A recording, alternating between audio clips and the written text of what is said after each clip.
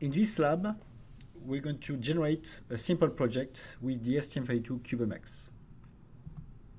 So the objective is first of all yeah, to uh, get used you know, to the STM32 CubeMX software and to generate a simple project. The project will be blinking one of the LED that is on the STM32G0 Nucleo board, so which is connected to PA5 of the STM32G0 MCU. So we're going to run you know, the STM32 CubeMX. To do this, please double click on the icon that is on your desktop. So the icon MX, which is located on your desktop normally when you install know, STM32 CubeMX. So please double click on it to open the app. Okay, so I'm going to double click on STM32 CubeMX to open the application. First step, we're going to create a new project. To do this, you're going to first select access to MCU selector. So click on access to MCU selector. That will bring a window like this one. In the part number search, which is located here, you want to type STM32 G071RB. So once you have typed this, you will have a selection here where you will see the STM32 G0RBTX, which is the part number that is on your Nucleo board.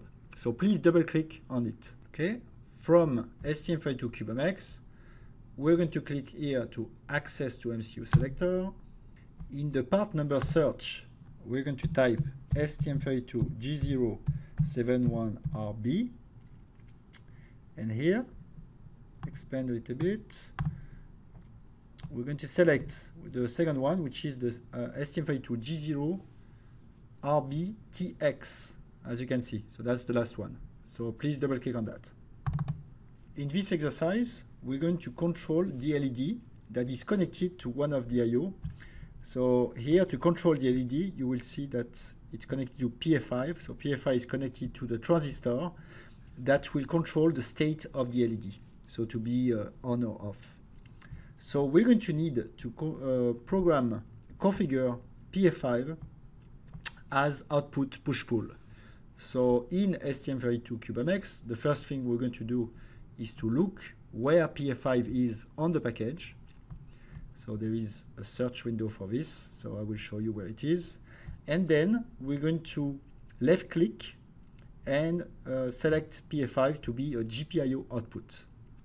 In STM32 CubeMX, in the pinout and configuration tab, here is where you know you can look for a pin.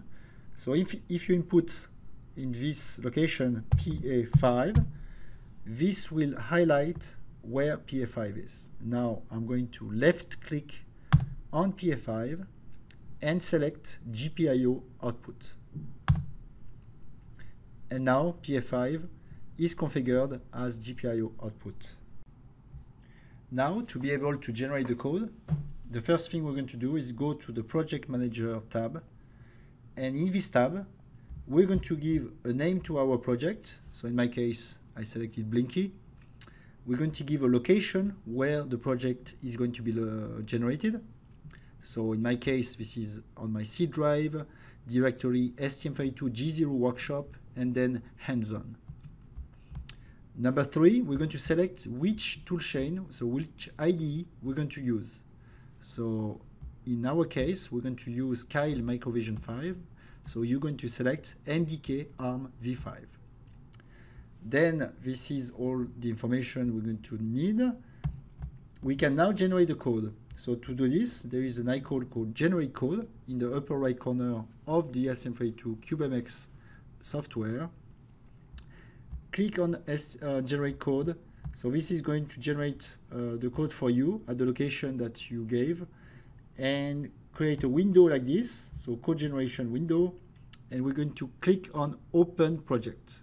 So open project will then open Keil Microvision 5. In STM32 CubeMX, I'm going to go to project manager, give a name to my project, Blinky, give a location, so I'm going to browse to C drive,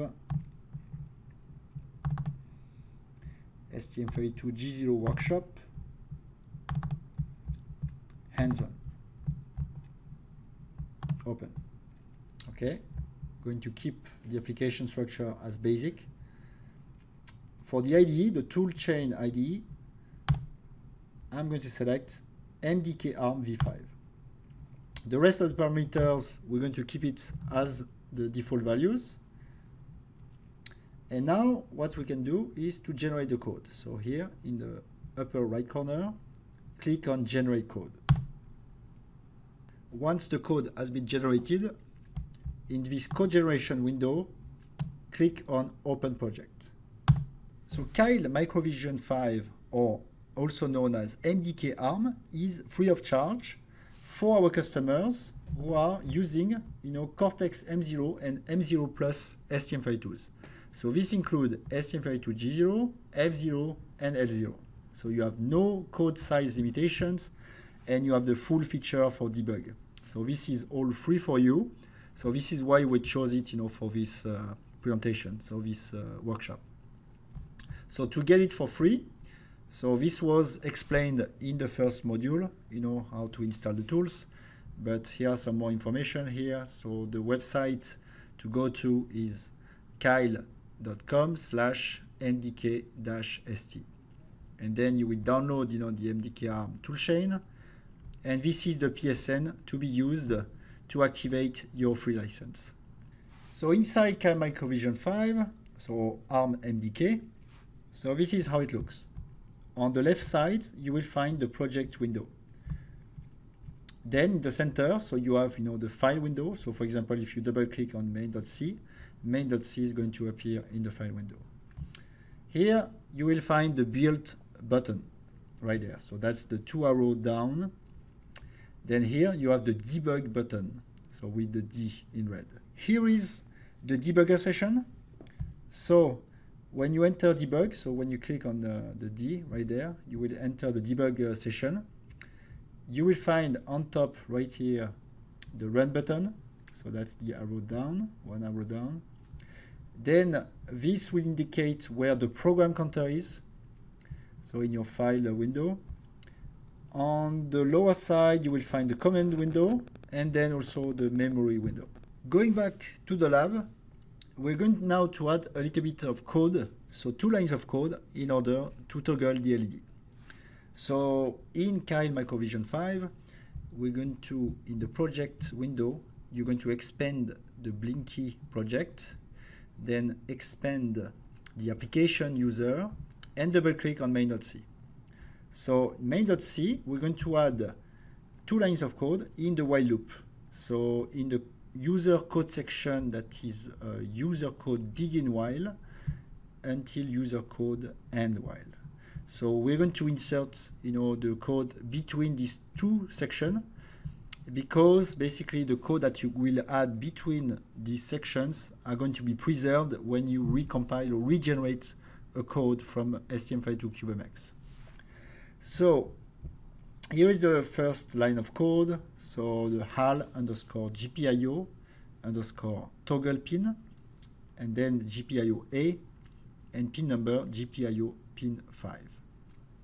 And then the second line of code is going to be a delay, so a delay of 100 milliseconds, so HAL underscore delay, and parameter 100 for 100 milliseconds.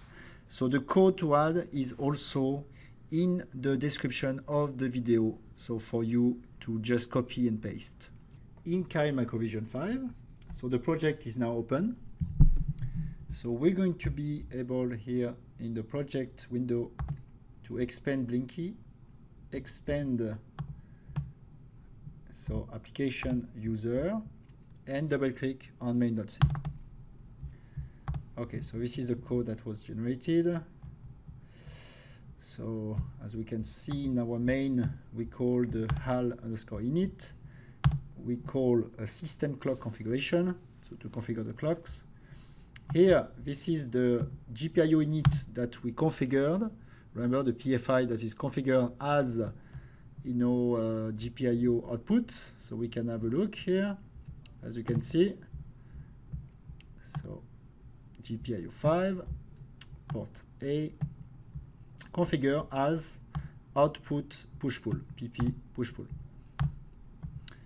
us what we want to do in our main function.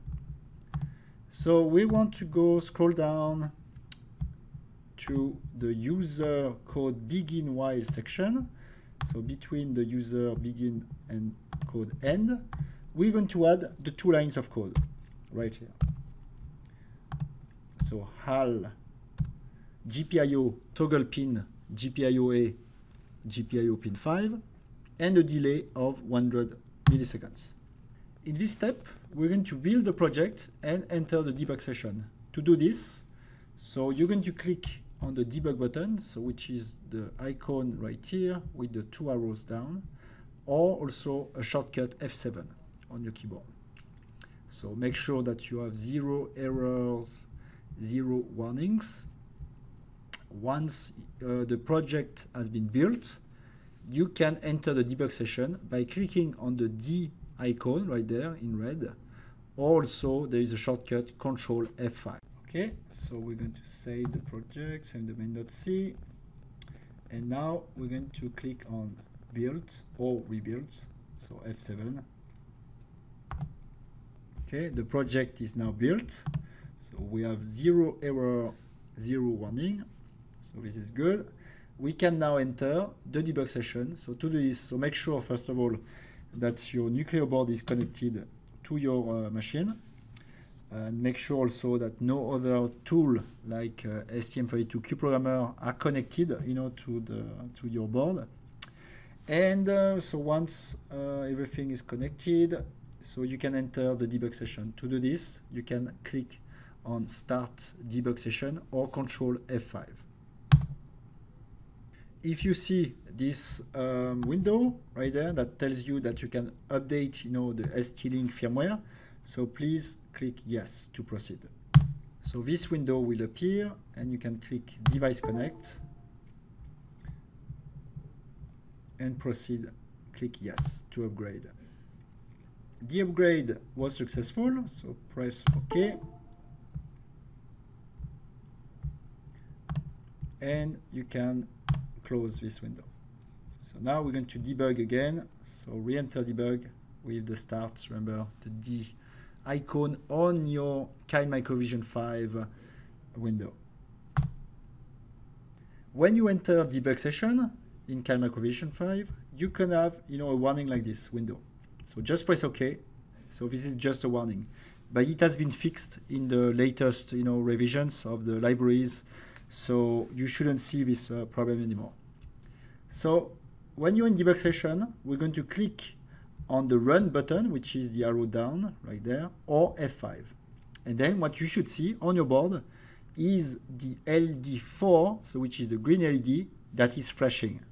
Okay, we are now in the debug session. So what we can do is run the code. And now on my Nucleo board, I see the LD4 that is blinking as expected. So we can stop the execution right there.